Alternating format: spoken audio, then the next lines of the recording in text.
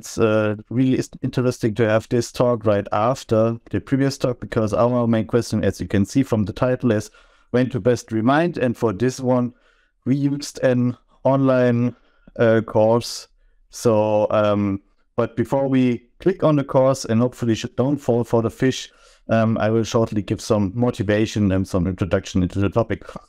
Um, but as we already talked about, phishing is still a really prevailing topic. As you can see, there are still warnings about people being phished. So companies have to warn their users that they don't fall for emails that are looking like they are sent from them.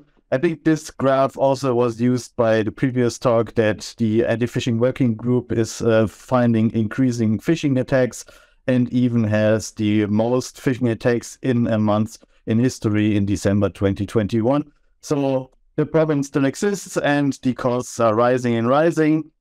So we think that phishing awareness and education measures are needed because there's no final technical solution. Often in the end, the user has to make a decision. And for this, there are like different ways how this measure can look like. You can have an instructor being in front of you and telling you what to look for.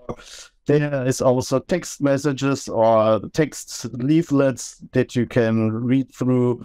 There are apps or serious games, as in the previous talk, which you can use to play a bit and learn about detecting phishing. There are videos teaching you to detect phishing.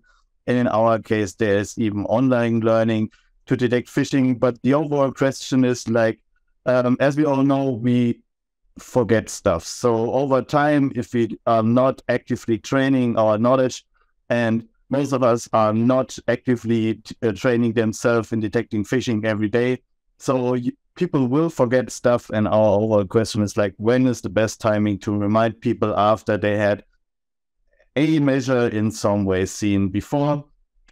So we have been doing research in this in the past. So there is a paper on a video measure where we looked into pre and post testing and then checked two months later. And they were still significantly better, even though you already see there's some small decline. Then there was a paper on a instructor-based training for people, and there we looked for pre and post testing, and then after four months and after six months, and we found that after four months they participants were still significantly better, but after six months they were not. And then there was an app which was tested, and they found, and we found that after five months the app was still significantly better. And today the question is, how is it about our e-learning? But before I want to go over the results, I want to quickly show you how our e-learning looked like.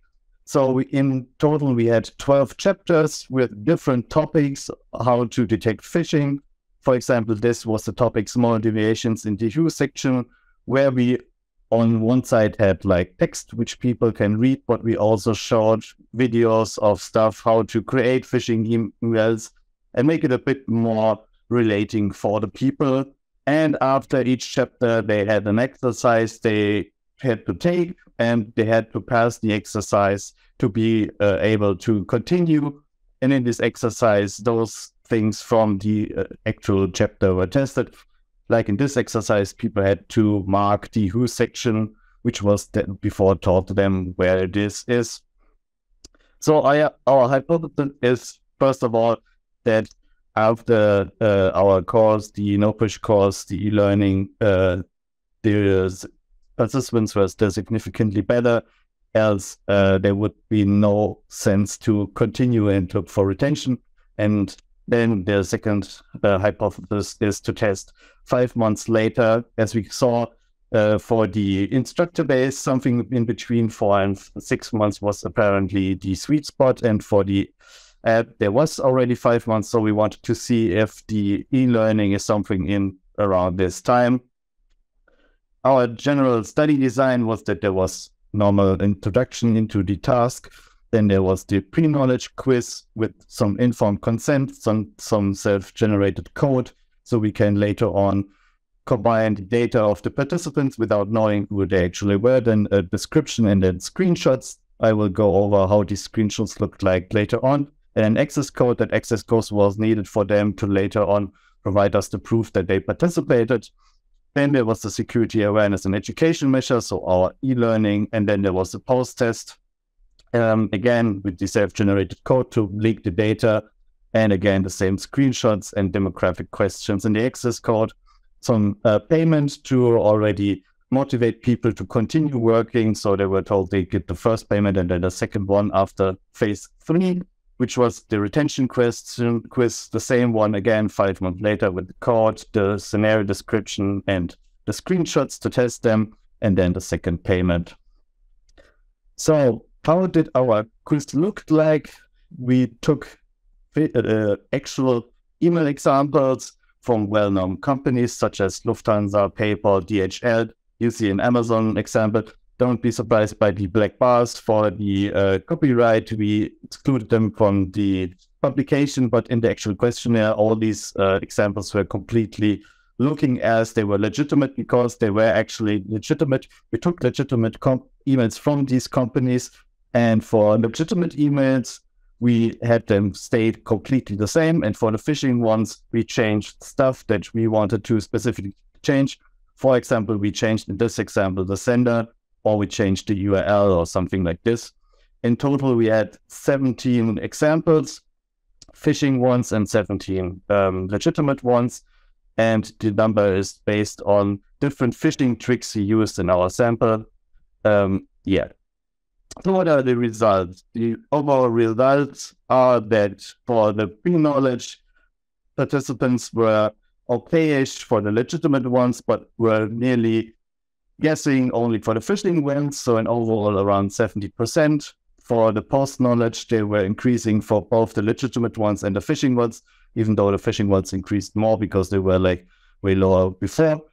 And for the retention ones, the legitimate ones were roughly the same, and the phishing ones declined a bit, but the overall performance was still quite similar.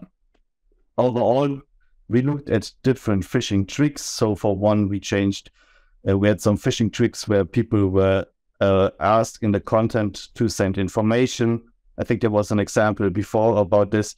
Um, then we did some brand related, uh, non brand related domain changing. So we did some rubbish in the domain to have like a really, really easy trick if people know where the actual domain is. And then we change stuff where we put the actual organization in the path or in the subdomain. So there is the brand related somewhere, but not in the actual domain. And then we tested like some small deviations in the domain where we had like smaller errors people are difficult to spot. We had some uh, special link manipulation in adding uh, mismatches of the link text in the actual link. And we also had um, attachments but for more details, uh, we can later on in the panel discussion discuss, or in the paper there also for all the phishing tricks, the real numbers. So in general, our discussions from what we found was that the small deviations in the domain needs improvement, especially for the retention, because people, especially in this area, were decreasing in their actual detection rate so apparently, this was like the one area that stands out the most where people need the retention knowledge to actually be able to detect this once.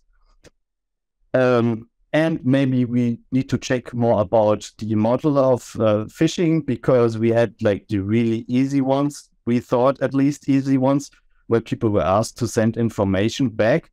And for the retention ones, we also found that these were not working as we expected them to work. So people were only about 70% in the retention study um, uh, detecting these emails as phishing ones. And I think that was even the example I mentioned in the beginning with the uh, aviation company warning their users to not send back information. So that is actually a real example um, there are still open topics like URLs used by links that can only be recognized with tools like short URLs, which are really difficult in this context to um, test because without a tool to actually derive the final URL, people cannot be tested if they can detect it because short URLs can both be legitimate or phishing. So one cannot from the URL say if it, it's one or the other. Or um, domains that can only be recognized as phishing if all legitimate domains are known. uh, in this case, we mean something if you add something like Amazon minus shop.com or something like this. In some cases, this actually happens, and this is a legitimate uh, domain. So it is a problem, but it is difficult to teach people how to detect this because if there are actual legitimate examples, then testing for this is very difficult without further testing people in front if they know all the legitimate domains so they can actually derive the legitimate ones from the phishing ones. Um, one thing that we found from our study to previous studies was that we used this time real organizations compared to artificial organizations, and there was nearly no difference in the performance. Um, and one thing that we wanted to test in future is testing every participant with feedback on their actual quiz performance because there was the exercises for the e-learning, but there was no feedback for the uh, quiz performance, and we want to test if this has maybe more influence also on the retention when they get feedback like this. So in summary, we created a different security awareness measure with e-learning aspects. Um, we tested a lot of different things, and we found that around the six-month range, there seems to be a sweet spot to do retention uh, to do reminder measures for people to refresh their knowledge. Um, and exercises apparently help participants to be have a positive uh, effect because the third paper with the instructor one did not have an exercise for everyone to participate. So maybe that is the reason why this one performed a bit less uh, good than the other ones.